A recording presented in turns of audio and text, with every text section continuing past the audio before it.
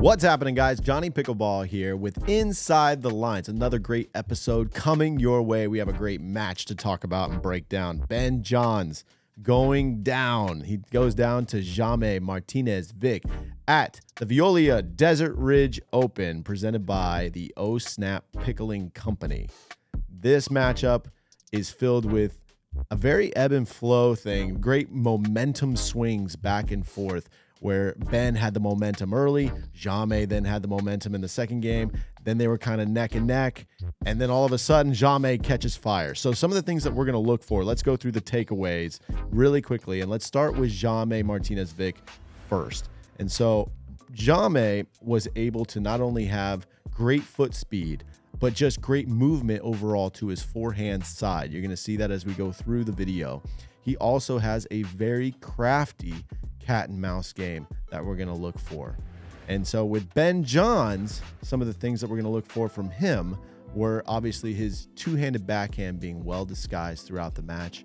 The fact that he then missed returns, missed serves, uh, were kind of a hindrance to him, especially in game two and three.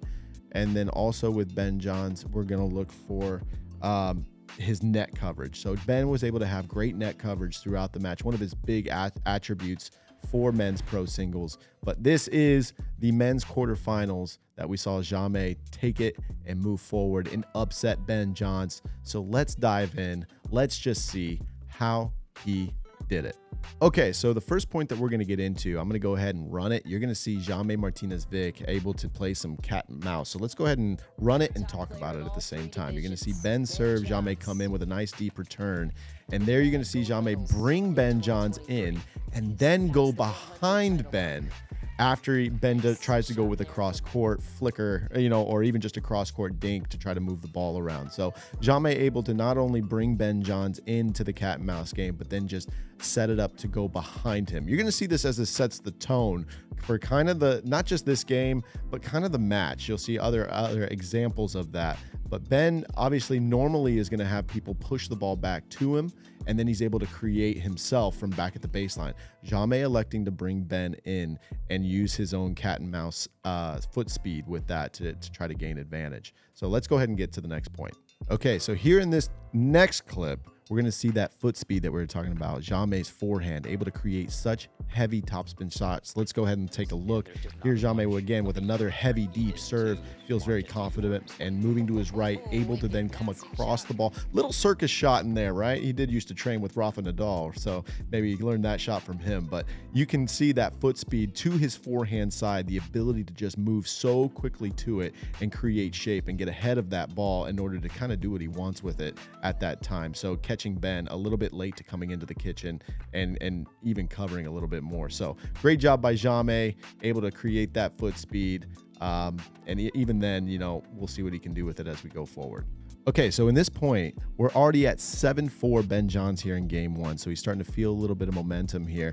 And so he's what we're gonna see is kind of that takeaway of his two-handed backhand. So the point before this, I just want to set it up for you, is that he was able to drop. And so you can kind of start to catch your opponents leaning one way or the other when you set it up the point before. Ben's very good at this. And so you're gonna see, I'm gonna go ahead and roll it with Ben Johns ready to serve here, 7-4, feeling a little bit of momentum. There's the two-handed backhand down the line. And then Jaume leaning to his right, Ben's able to go cross court with him by disguising his backhand, taking it back fully and kind of keeping his his body looking the exact same. Very good at disguising his backhand, whether he's going to roll it or drive it. So Ben had the option there to either roll or drive on the back, on the cross court side after setting it up by going down the line first and catching Jaume leaning, making it all look the same. So we're going to look for him to do some more of that stuff as this game goes on. He felt really great in this first game. Let's move on to the next point. Okay, so in this point, this is game point now. Ben's already had the momentum kind of going in his favor. He's hitting his shots. Jaume had missed some returns in game one, which kind of obviously any missed returns that you have, whether it's three, four, five, in singles is going to just absolutely be detrimental to you trying to be successful. So Ben, in this point, I'm going to go ahead. One of his biggest things that he was able to do in game one is have a heavy serve. I will go ahead and, and run this for you. Um, and with that open stance now with the new serve rule, you just see a, a missed return by Jaume. Kind of he missed the last couple anyway. And so, but that that open stance, especially with the new new serve rule that Ben is actually trying to you know utilize because we have to, is that his closed stance was making it a little bit more difficult to not have the ball raised up. So he's doing more of that open stance so that his hips and shoulders can still go forward and utilize the weight of that to push the ball forward deeper into the court, which is uh, going to be great use for him in game one as he's able to take it. Let's get right to game two. All right, so we're going to pick it up here in game two. So Ben already feeling a little bit of. Uh, you know, control here. He already took game one, 11 4. He's already up 1 0 here. This is where Jaume, you're going to see that forehand movement, like we talked about earlier, uh, where he's able to not only just stick the volleys, but stretch really well. Let's go ahead and just run it, and then we'll go through it. Ben with a nice deep serve once again. Jaume coming in, stretching with the forehand on the foot speed. And again, one more time. That stretch may look very simple to do, very difficult with the ball that Ben is actually placing and shaping and dipping. And so you'll see it even on the replay that they put in there, how he's able to guess correctly and then stretch even further to that forehand side. He's so quick to be able to move to that forehand side on the volleys that even Ben's passing shots uh, are going to be very difficult for, for him to do against Jaume Martinez Vich. So great, great job there from him. Let's get right to the next point as we see Jaume do his thing. Okay, so here we are in game two. Let me set the stage for you. We're at 5-3 now. Jaume started to have a little bit of run here. He started to have a couple shots that just went his way. But we're going to see that forehand movement once again take place. Let's go ahead and run it. Here's the big serve from Jaume. And then the backhand down the line net cord. Ben able to cover. Covers the net extremely well. But then Jaume moving right once again with his forehand, able to create with that passing shot, almost like a little circus shot once again. But, you know, Ben obviously electing to keep going to that forehand, trying to space him out a little bit. But Jaume so quick to that forehand side. I'm actually a little more surprised that Ben didn't go down the line more and try to pin that backhand, even though Jaume's backhand creates a lot of spin on it. But I think Ben would have had a better job having the ability to defend against that than just continuously going to that forehand, which was on fire, especially starting to get into game two and even pushing into game three. But let's just get to the next point. Okay, so in this next point, we're at 7 4 now. Jaume started to have a little bit more momentum go his way. And on this one, you're going to see, let's go ahead and run it. You're going to see Jaume actually hit uh, some great cat and mouse uh, shots here. Let's go ahead and run it. Ben with another serve here. Jaume coming in. Nice deep return. And there it is right there. I'm going to go ahead and pause it. So when Ben does the drop, uh, normally he's he's used to people coming in or, or used to people uh, pushing the ball back to Ben so that he has the ability to create from the baseline and kind of dictate terms as he moves his way forward. Jaume goes in a different direction here. He goes ahead and drops this ball, bringing Ben in the kitchen on a full sprint, trying to make a decision on what to do with it by the time he even gets there, which is difficult enough, number one, just to get there, but then two, to go ahead and place the ball somewhere to be ready for the next ball. So Jaume brings him in. Ben comes roaring in, puts the ball across court. Jaume reading it nicely and just putting the ball away very easily. So he drops, you'll see it on the replay again, elects to just keep Ben coming in forward on the move and and really dictating that cat and mouse point on his terms. This will lead him to go ahead and win game 2 Jaume Martinez Vich and let's get to game 3. Let's do it.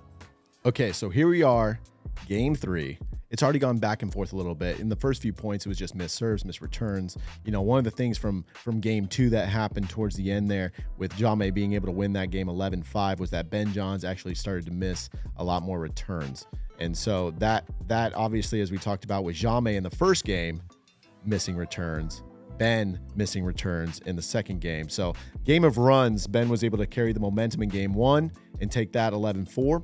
Jaume able to have the momentum in game two able to take it 11 5 and now here we are in game 3 all kind of you know back and forth we go. But on this point you're going to see Jaume once again elect to bring Ben Johns forward versus pushing the ball back to him. Let's go ahead and run it just to set the stage for you. So here we go. Ben Johns to push it in. There's Jaume pushing the ball back once and there it is on the drop. You're going to see, go ahead and pause there. So the ball that comes in, Ben kind of lofts it back. And Jaume, instead of just creaming that ball, decides to bring Ben Johns in on his terms. He drops the ball instead. So Ben obviously is, is going to get there. It wasn't a, a, crazy drop shot, but let's go ahead and keep running it. You know, but brings him in so that he can start to dictate the cat and mouse point. Jaume trusting his skills there to go ahead and have that foot speed that we talked about as well. Part of the major takeaways of this match, but utilizing his foot speed against Ben Johns, but had to get him into that cat and mouse point first to do so. So instead of going ahead and just creaming this ball that he had the opportunity for, drops it brings Ben in, wins the cat and mouse cat and mouse point once again. So things to look for if you ever have to play Ben Johns. Maybe starting to look to to drop and bring him in versus pushing the ball back and letting Ben create. So great job by Jaume here, and uh, let's see where this game goes. Okay, so on this point, Jaume is still down three four. But this is going to kind of start to set the tone for the rest of the game. He has a really crafty scramble point here. Let's go ahead and run it, and we'll go through it. But you'll see the big, uh, relatively big serve there by Jaume. Comes in mid-court, tries to pass Ben. Ben going around him and then Jaume able to come back on a crazy scramble point. So what's really cool about this point as it goes on and on and on, and I'll pause it there a little bit, is that Jaume is able to use that foot speed not only to his forehand, but always to his backhand, and he continues to try to go behind Ben Johns versus trying to go down the lines all the time. But he's mixing up his placement a lot, trying to keep Ben off balance, using short angles versus trying to just hit the winner, hit the winner once. He's trying to make Ben move to set himself up for even better shot on the next ball and utilizing his strength of foot speed to do so. Ben makes assumptions based on patterns and assumes he's going to go passing shot, try to go down the line. Jaume able to go cross court back, which worked out very well in his favor to set him up for the next ball, and then able to put it away. At this point, the foot speed of Jaume is in full swing right now. And uh, let's get to the next point because you're going to see Jaume start to catch fire here at the right time. Okay, so we're going to go ahead and pick it up here at 7 4. Jaume's already started to rattle off a few points.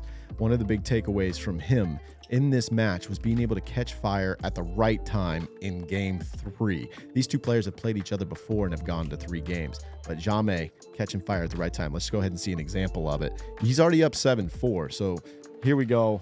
Um, relentlessly going to start driving the ball at Ben Johns with the forehand, the backhand, and then down the line, painting the corner or in that line area, just doing a great job. And at this point, I show this point because the rest of the way here, now leading 8 4, it gets very interesting for Ben Johns. So let's get to it. The match point that had Jaume Martinez Vich upset the world number one. Okay, so this is match point. Now, it's not anything too crazy. This is just a missed return, but I'm going to go ahead and run through it for you. And why I want to show you this match point is because Ben Johns has missed the last few points just on return. So let's go ahead and run it. Match point, he had caught fire. Jaume Martinez Vich has another heavyish, heavy serve with a lot of spin that's really deep, missing the return, really putting the pressure on Ben Johns, who at the last one not only missed that return, missed the last three. So those missed returns, missed serves from Ben Johns really hurting him throughout this match. Jaume Martinez Vich able to use his foot speed, use that cat and mouse uh, ability, and bring Ben Johns in on his terms to be able to move forward into the semifinals, where, as we saw, Jaume got to go to the finals and have an amazing run throughout Desert Ridge before losing to Federico Staksrud. Um, great job by him. Ben John's going to need to look for the kind of go back to the labs, maybe on some footwork, on some stuff. But, you know, I'm sure he's going to be just fine as we progress through the year. So, thank you for joining us here. The Veolia Desert Ridge Open, presented by the O Snap Pickling Company. What a great tournament. What a great match. I'm sure we'll have another Inside the Lines coming at you here very soon. Johnny Pickleball, we'll see you.